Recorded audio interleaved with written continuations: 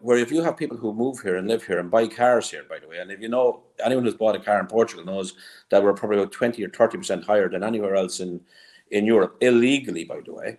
Um, and, um, and, and the Portuguese government just continue to pay the fine because they don't want to see their, their car industry stepped on by Spain. Because I mean, you don't want to drive into Spain and buy a car for 20% or 30% cheaper than you can buy it in Portugal. And that's their argument.